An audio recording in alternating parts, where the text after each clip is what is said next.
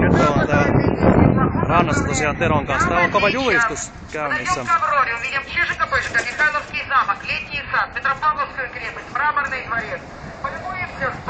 Täällä myydään odareita aika kovaa hintaa näin. Mitä halpoja on. 30 tommonen, en mä tiedä. Sitten tää on, joka paikassa on näitä kioskeja. Näissä ei valitettavasti Jaguaria ei myydä. Mä en tiedä mikä siihen on sitten syynä.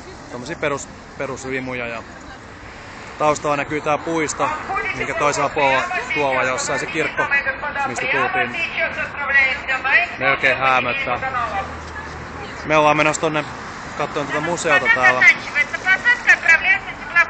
eteenpäin jossain. Ää, varmaan se kohta löytyy.